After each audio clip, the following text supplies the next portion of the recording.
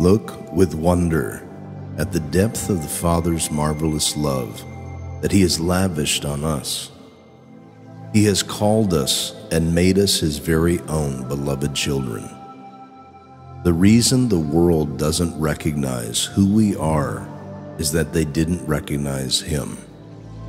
Beloved, we are God's children right now. However, it is not yet apparent what we will become. But we do know that when it is finally made visible, we will be just like him, for we will see him as he truly is. And all who focus their hope on him will always be purifying themselves, just as Jesus is pure. Anyone who indulges in sin lives in moral anarchy. But the definition of sin is breaking God's law. And you know without a doubt that Jesus was revealed to eradicate sins, and there is no sin in him. Anyone who continues to live in union with him will not sin. But the one who continues sinning hasn't seen him with discernment or known him by intimate experience.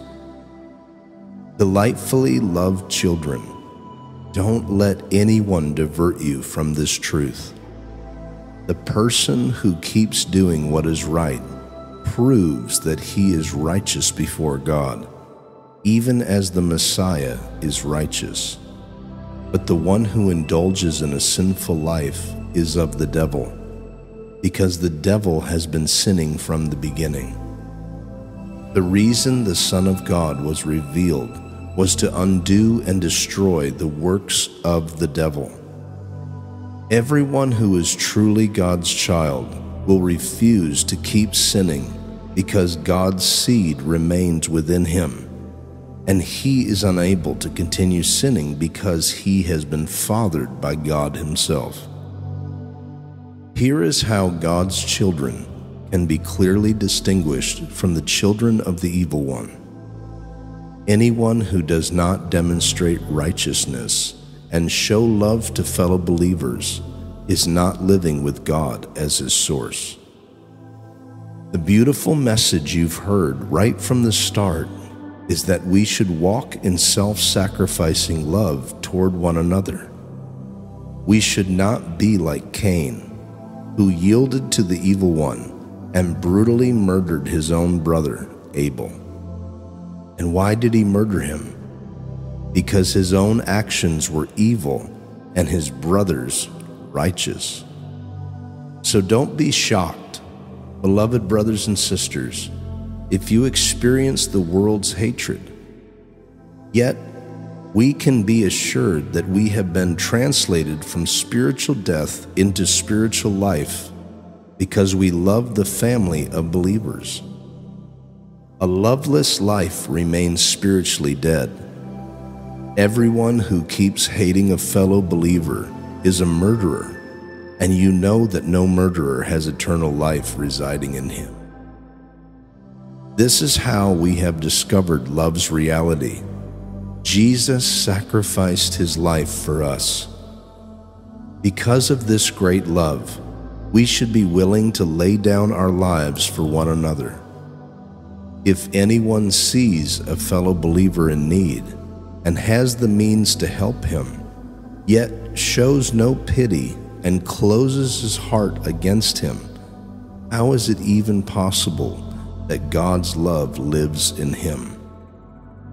Beloved children, our love can't be an abstract theory we only talk about, but a way of life demonstrated through our loving deeds.